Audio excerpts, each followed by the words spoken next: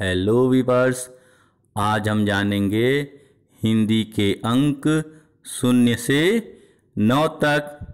तो शुरू करते हैं शून्य से। ये है शून्य।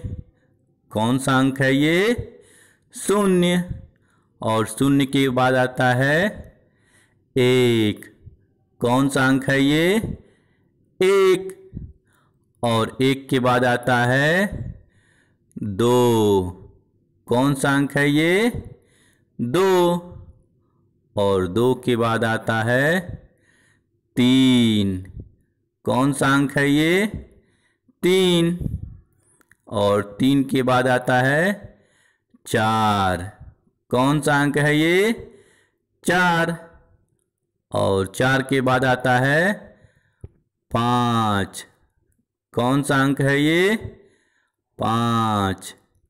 और पाँच के बाद आता है छ।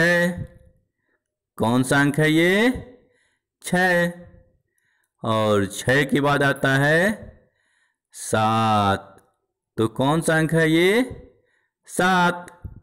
और सात के बाद आता है आठ। कौन सा अंक है ये? आठ। और आठ के बाद आता है नौ। कौन सा अंक है ये? नौ। तो आइए फिर से एक बार रिवाइज करते हैं इनको।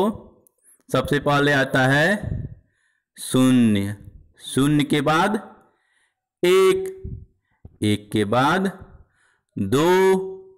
दो के बाद तीन।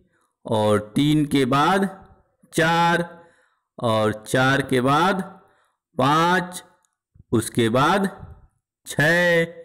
और छ के बाद सात। सात के बाद आठ।